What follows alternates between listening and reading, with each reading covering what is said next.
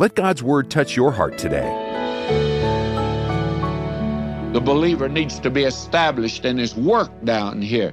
You see, today it's rather deceitful, and you deceive yourself and others when you talk about how much you love the coming of the Lord and you don't study His Word. And it doesn't manifest itself in your life. And it doesn't make you work. You see, if you really believe Christ is coming, you're really going to be busy. You're going to work for Him because you're going to give an account to Him. And if He's going to be here tomorrow, I want to be busy today.